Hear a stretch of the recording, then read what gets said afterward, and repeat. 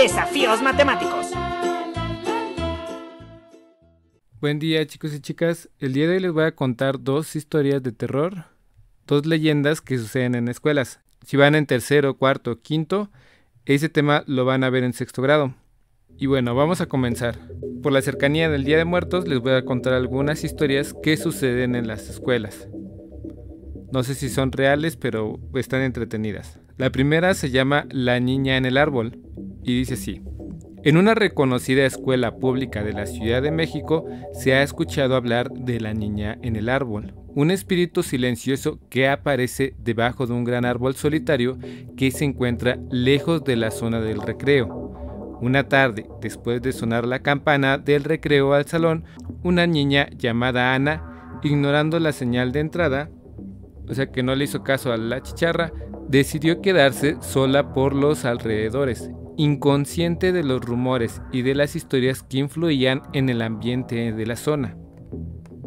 Como aquel lugar misterioso era, además de llamativo, bastante fresco y cálido, Ana se sentó en las raíces del gran árbol para descansar. Sin embargo, justo cuando casi se queda dormida, sintió como si alguien la acechara desde el tronco del árbol. Dudosa, pero pensando que se trataba de una broma, la inocente niña se levantó con la idea de rodear el árbol para saber de quién se trataba, y así fue. Caminó por detrás del árbol sin encontrar a nadie, pero cuando regresó al sitio de origen se topó de frente con una niña de piel lúgubre y mirada vacía. De la impresión, Ana cayó al suelo, y en medio de un grito mudo logró levantarse para salir corriendo. Al llegar al salón e interrumpir la clase abruptamente, su maestra y los niños la recibieron extrañados y ansiosos por saber lo que le había sucedido. Como Ana sudaba y jadeaba, la maestra la sentó en una silla y le dio un vaso de agua para calmarla. Después de reconfortarse, Ana compartió su experiencia y asombrados, los niños se miraban unos a otros sin pronunciar palabra. La niña en el árbol, dijo uno de ellos. Muchos ya hemos visto, continuó relatando. Y luego agregó, a veces aparece colgada en las ramas y luego desaparece. Según relatos más antiguos, la niña en el árbol fue alguna vez una niña bastante tímida, que creció en el núcleo de una familia muy común. Sus padres no la maltrataban y pese a la vida poco ostentosa y limitada que llevaba, parecía ser feliz. Sin embargo, una tarde apareció colgada en un gran árbol del patio del recreo y nunca se conocieron las causas que la llevaron a ese final cruel. Bueno chicos, espero que esta historia les haya gustado, que les haya asustado un poquito. Y la segunda es la más tradicional en todas las escuelas, se llama el cementerio debajo del colegio. Todos en nuestras escuelas han sido un cementerio. Entonces la leyenda dice así.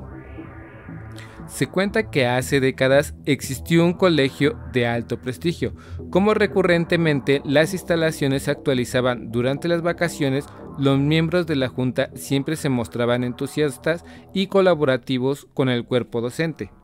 Pero un día, durante una de las reuniones de maestros y padres de familia, el ingeniero a cargo de las obras constructivas interrumpió para informar sobre un suceso bastante extraño y peculiar.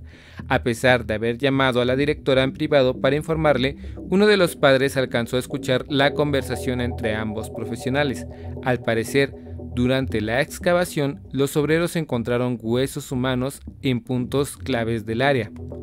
Pero no eran huesos de adultos, sino de niños, huesos y dientes aglomerados en bolsas y cajas que, por el estado decadente y amarillento, podría haber estado allí por más de 20 años. La directora, atónita, no tuvo más remedio que llamar a las autoridades. Días más tarde, se confirmó que efectivamente eran restos de niños pequeños, niños que probablemente vivieron un terrible terror hasta la muerte. Bueno chicos, esas fueron las dos leyendas que les quería contar. Espero que les haya gustado, que les haya asustado un poco. Coloca un corazón en los comentarios para saber si alguna de estas historias te asustó. Espero que este video te haya gustado mucho. Cuídense y nos vemos en el próximo video. Saludos.